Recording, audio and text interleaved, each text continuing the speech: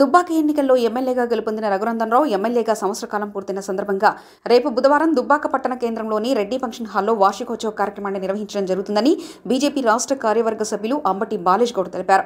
సిద్దిపేట జిల్లా దుబ్బాక పట్టణంలోని MLA camp కార్యాలయంలో మీడియా సమావేశం ఏర్పాటు చేశారు. ఎమ్మెల్యేగా గౌరవనీయులు రఘునందరావు గారు గెలుపొంది సంవత్సరం పూర్తయిన సందర్భంగా దుబ్బాక నియోజకవర్గంలోని అన్ని మండల పార్టీ శాఖలు బూత్ కమిటీల ఆధ్వర్యంలో రేపు ఆత్మీయ సమ్మేళనం ఏర్పాటు చే- చేసుకోవడం జరిగింది. దీని వార్షికోత్సవ సౌకర్యంగా చెప్తా ఉన్నాం.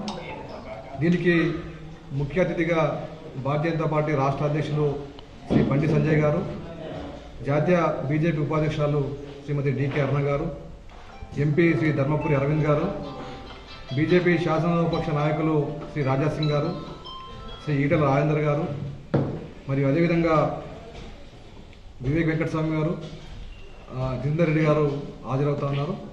కావున మరి నియోజకవర్గంలోని భారతీయ జనతా పార్టీ కార్యకర్తలు అభిమానులు ప్రజలు మరి పెద్ద సంఖ్యలో రేపు అంటే దుబ్బాక రెడ్డి ఫంక్షన్లో జరిగినటువంటి ఈ కార్యక్రమానికి మధ్యాహ్నం రెండు గంటల నుంచి ఐదు గంటల వరకు జరిగే ఈ కార్యక్రమానికి కార్యకర్తలు అధిక సంఖ్యలో పాల్గొని ఈ సభను విజయవంతం చేయాలని చెప్పి ఈ సందర్భంగా విజ్ఞప్తి చేస్తాము